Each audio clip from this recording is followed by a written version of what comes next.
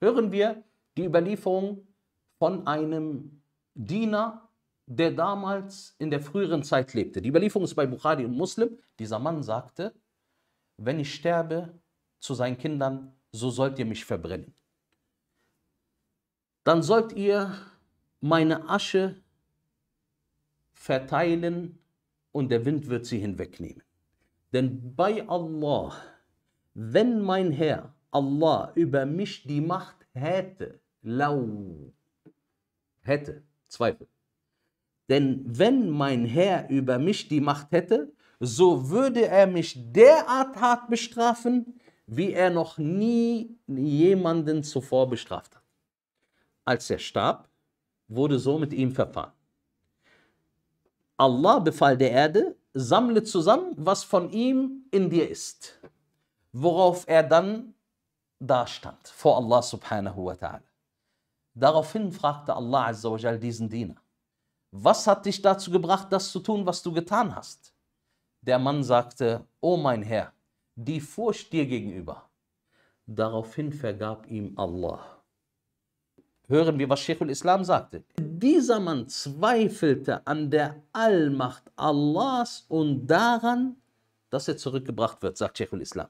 Nachdem er im Wind zerstreut wurde. Er glaubte sogar, dass er nicht zurückkehren wird. Diese stellt dem Konsens der Muslime Unglauben Kufr dar. Sheikhul Islam sagt, hört zu, Yet Yakfiris, er war jedoch unwissend, Jahil und wusste es nicht, wobei er an Allah glaubte und fürchtete, dass Allah ihn bestraft, aufgrund dessen Allah ihm vergeben hat. Allahu Akbar. Jetzt haben wir eins gelernt. Es kann sein, dass eine Tat mit Konsens aller Gelehrten was ist? Kufr oder Schirk.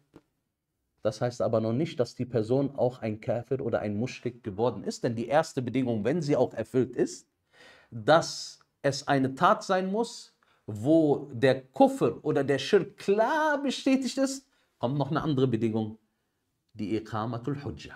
Das heißt, dass die Person belehrt wird, damit man die Hinderungsgründe aus dem Weg schafft.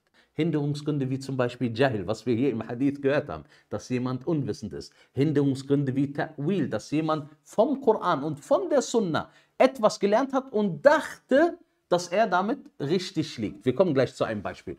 Oder das Beispiel von Al-Khata, den Fehler. Wie ein Mann zu Allah Azza sagte, er sagte, Allahumma anta abdi wa ana rabbuk. Oh mein Herr, er sagte, oh mein Herr, du bist mein Diener und ich bin dein Herr.